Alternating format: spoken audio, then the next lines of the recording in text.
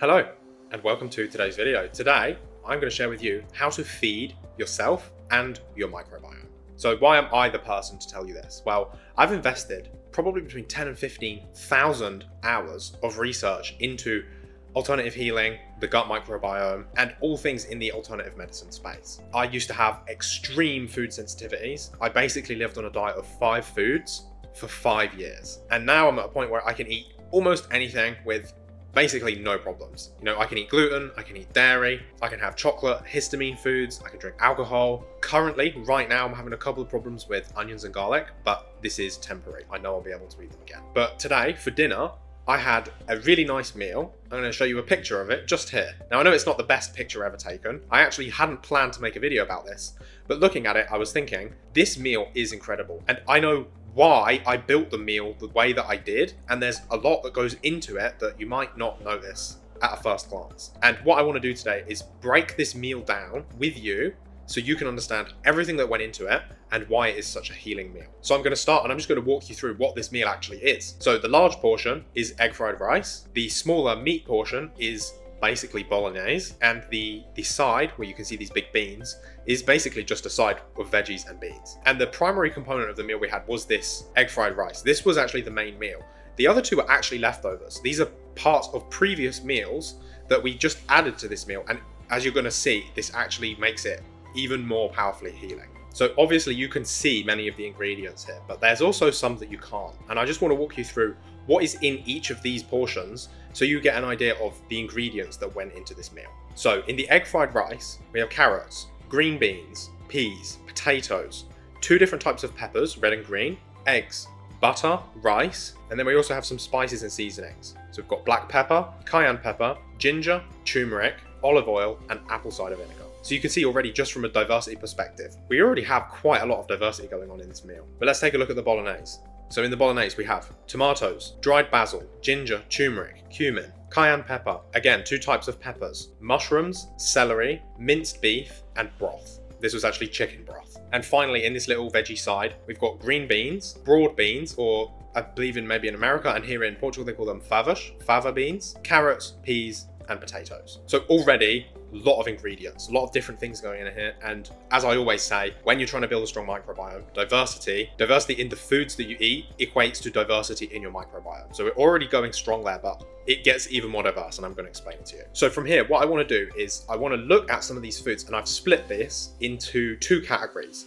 We've got category one, foods that nourish you, and category two, foods that nourish your microbiome. So when I say foods that nourish you, what does that actually mean? Well, as far as I'm aware, nourishment means things that we eat that are actually able to help us build ourselves or to bolster or to support our metabolic functions, to provide caloric value, and to provide things that support these processes, so like supporting your metabolism. So this includes essential nutrients like your B complex vitamins, your essential amino acids, but this also includes other substances that support your body that aren't actually essential, including things like polyphenols and substances like, for example, malic acid in apple cider vinegar, but we're going to come to that. So starting at the top, let's look at the eggs. So eggs are one of the most nourishing foods on the planet. I'm going to do a tier list video soon. I guarantee you eggs, they're going to be in S tier or A tier. They are absolutely one of the most powerful and nourishing foods on planet Earth. The egg whites themselves are a good source of protein, but the real power in the egg comes from the yolk. The reason for this is a yolk is basically everything you need to make a baby chick, which means there's everything in there that you need to function as a human. All animals are kind of the same, and what one animal needs to make itself is what another animal needs to make itself.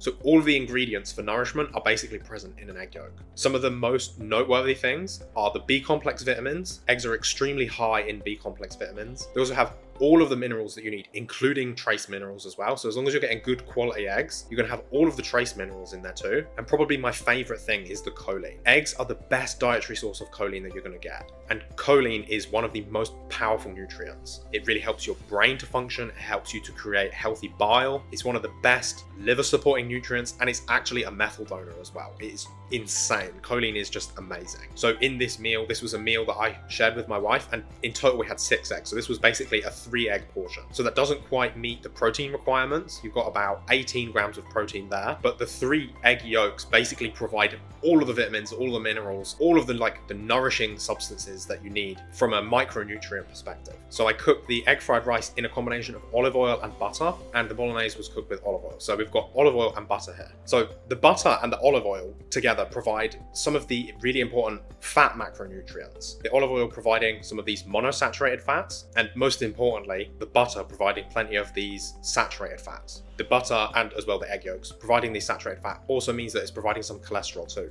Your body uses the saturated fat to create cholesterol, but most foods that have some saturated fat in them also have some cholesterol in them too. So cholesterol, extremely important. We completely got it wrong with cholesterol. Cholesterol is essential for health. You use it to make all of your steroid and sex hormones. This is your cortisol, this is your testosterone, your estrogen. use it to make vitamin D. use it to build the membrane of every single cell. Your brain is 30% cholesterol by dry mass. Cholesterol is not the enemy. Cholesterol is really important. And this meal is very high in cholesterol, which is great. So on top of that, it's also just providing some fat calories. It's really important that we have some dietary fats again because we use them to make our hormones, etc. But they also provide a really good fuel source. In the bolognese, we have some red meat. Red meat is one of the most nourishing foods on earth. I actually think that generally speaking, red meat is the best. It's better than fish, it's better than poultry, it's better than eggs from a nourishment perspective. So while, for example, the egg yolks provide a really nice amount of vitamins and cholesterol, saturated fat. Red meat itself is the best source of things like proteins specifically. Maybe we can do a tier list video of different types of proteins. Again, eggs maybe would be a little bit lower. Red meat is going to definitely be somewhere near the top. So there's not that much red meat in this. You see the portion is actually quite small, but this must be adding at least another five or seven grams of protein. This is probably bringing us up to maybe 25, 26 grams of protein for the meal, which is pretty good. You know, we're aiming for like 25 to 35 grams of protein at every meal. So we're kind of within that range by now. Also, uh, this the variety of different plants that we have here provide a lot of polyphenols, and the impact of polyphenols has more of an effect on the gut, and we're going to come to that, but it does provide some benefits inside of the body. Many polyphenols have affinities for different types of toxins, so they can support your body in detoxification processes. They also activate detoxification processes. They're kind of like catalysts that encourage your body to do detoxification. So they're kind of providing some nourishment in the fact that they're supporting your body in the detoxification process. With the potatoes and the rice, we've got the, the backbone of the caloric nutrients being provided by this meal. So as you can see, obviously egg fried rice, you've got egg, you've got something frying it, and you've got rice. Rice is like the core calorie provider in this meal. And we also have a little bit of potato in there as well. So I personally do amazingly on carbohydrates. These work really good for me. If for some reason you don't tolerate them, then don't eat them. But I do find that if you can tolerate them, generally they're really helpful. They're really healing. They really help with adrenal fatigue. They really help you have energy. They help your performance at the gym. The only time that I would consider not using them is you if you have severe gut problems and you have gut reactions to starches, or if you're struggling with like insulin resistance, pre-diabetes, something like that, then maybe they're not the best, or maybe you just need some management strategies to support your body with that. Which is a nice transition onto our next nourish ingredient being the apple cider vinegar. So very interestingly, having some apple cider vinegar before or with your meal, all vinegar contains acetic acid, and this allows your body to improve its insulin response to carbohydrates. So not only are we eating plenty of fiber in this meal from all the different beans and different vegetables, things like mushrooms and celery, all of these are buffering the carbohydrate absorption, but we also have some vinegar in here. This acetic acid is going to support the body in metabolizing these carbohydrates in a healthy way instead of triggering a very significant insulin spike, which is not really ideal. It's not great for health the general rule of thumb is we want to keep blood sugar and insulin spikes as low as possible and as infrequent as possible. So again, it's not about avoid these foods, it's about enjoy them, but enjoy them responsibly and understand how they affect your body biochemically. And finally, on the nourishing side of this equation, we have broth. So the bolognese was actually made using chicken broth. Broth is absolutely phenomenal for providing nourishing substances, especially things that are gut healing. So this is the glutamine, this is the glycine, there are some really interesting compounds called glycoproteins. So these are like combinations of these substances and these kinds of polysaccharide structures that are also protein based. They're really, really helpful for building a strong gut lining and improving things like leaky gut and just supporting your brush border enzyme production. Also, broth and things like, like apple cider vinegar and seasonings, they just add so much of a depth of flavor to the food that you eat.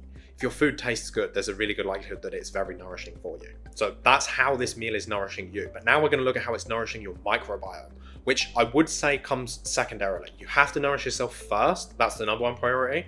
Then nourishing your microbiome comes a very close second. It's very, very important. So how are we doing that with this meal? So first of all, the variety of foods that we're eating. All of these different vegetables, be that the vegetables that we've used as the primary vegetables in the meal, so the things like the tomato sauce and the bolognese, the peas, the potatoes and rice, the green beans, the things like that. But you've also got the spices, and this is probably one of my favorite cheat codes to improving your microbiome diversity is adding in a good variety of different spices because you can boost the microbiome, you can boost the microbiome enhancing effects significantly as you can cram so many different polyphenols into every single meal. So just looking at the spices in these meal alone, we've got pepper, cayenne pepper, ginger, turmeric, dried basil, we have bay leaves in the broth, we have apple cider vinegar too. So this adds so many extra polyphenolic compounds that really help to boost your microbiome. When you're thinking about polyphenols, think colors, flavors, and smells. So this bolognese actually doesn't have onions and garlic in. As I said, I'm not doing great with those at the minute, but there's still so much you can do. So if there's certain things I'm saying that you don't tolerate, don't use them, find a way around. You know, you might do great with onions and garlic, so stick them in. We've also got mushrooms in here. Mushrooms contain some very unique prebiotic substances, including chitin, chitin, don't know how that's pronounced, and glucans. So these are a different angle. These are a different type of prebiotic compound.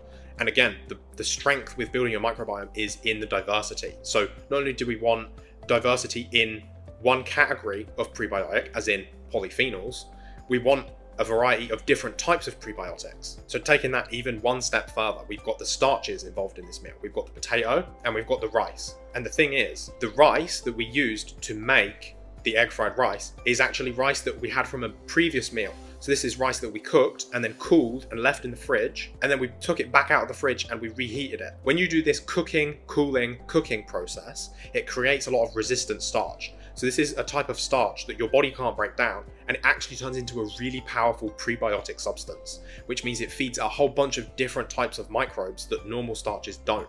This is also true of the potato in the small vegetable side that we had that had the fava beans in it too. This was also cooked and cooled, which means we're going to have resistant potato starch and resistant rice starch, which are two different types of resistant starch that again feed different microbes. So we've got so much different diversity. We've got layers of complexity of diversity for feeding the microbiome here. And the icing on the cake for the microbiome here is the fava beans, or as we call them in England, broad beans, or green beans. I think in England we call them green beans. So I was a bit hesitant about trying these because I'm a little bit wary around certain FODMAPs sometimes, you know? My gut still isn't perfect, but I tried these and I didn't really have a problem. I got a little bit of a sulfurous feeling, a little bit of a burning, but it was okay. You know, it was nothing uncontrollable. And I'm sure this is just because I've just introduced these and it takes some time for the microbiome to adjust. That's the whole point after all, right?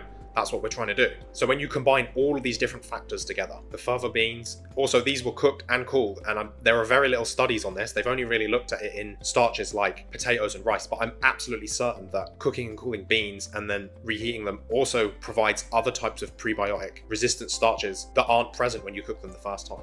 So we've got layers and layers of resistant starch. The potatoes, the rice, the fava beans. We also have other types of prebiotics in the fava beans. These are certain FODMAPs, which is amazing. I'm so happy that I'm tolerating some FODMAPs currently. This is really great for me. On top of this, we've got the mushrooms, we've got the different polyphenols, and all of the different types of vegetables that we had, all the different colors, all the different flavors, and all of this diversity just makes for a banquet for your microbiome to diversify and to become strong. So when you combine both of these aspects, this is just one meal, but this gives you a template. This gives you something that you can use to build your own meals. We need to be nourishing you and we need to be nourishing your microbiome. And the trick to nourishing you is we need calories first of all. So if that comes from fat or if that comes from carbs or if that comes from both, that's ideal. We need a protein source. I'm a big fan of animal nutrition as far as protein is concerned. We've got that broth in there to feed your gut. We've got all of those B vitamins in the eggs. We've got the choline, all the saturated fats, all of that nourishment. And we've got all of this diversity in the different types of food and the way that the food is prepared, the cooking and cooling, all of this diversity to feed your microbiome. And you bring those two together, and what have you got? You've got perfect health. If you've really enjoyed this video, this has been really helpful for you, please let me know below. Leave me a comment, tell me that it's been helpful. Let me know what you learned. Just before I go, I want to extend an invitation to you to join me in my group coaching community Obviously Healing, where we talk about all of the things that you can do to make your healing protocol obvious. Gut health is a huge part of Obviously Healing. This picture that I took was actually sharing my meal with this community. That is what inspired me to actually make this video that I'm, that I'm recording now. So this shows you this is exactly the kind of thing that we're talking about in this community. So if you want to utilize diet, digestive support to focus on healing your gut, if you want to incorporate things like functional training, fasting, sauna, daily movement, and meditation to help you achieve your next level of wellness, make sure you click the link in the description below. Come and join us. We would love to have you. It is an amazing community. We're having so much fun. There's so many results, and I'd absolutely love to have you in there. I really hope you've enjoyed the video. Take care, and I'll see you in the next one. Bye.